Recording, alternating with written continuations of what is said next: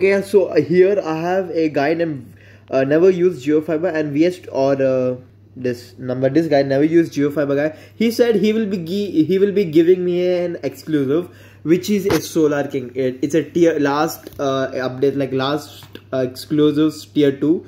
So let's see. Uh, let's keep him a good offer. Okay uh, three pets i think he he said actually we already talked actually we said like uh, we already did the trade but you know we are doing it again okay as you can see we just traded. Uh we are completed okay? So i'm to show you the solar king pet right here. I have two right now. Let's go.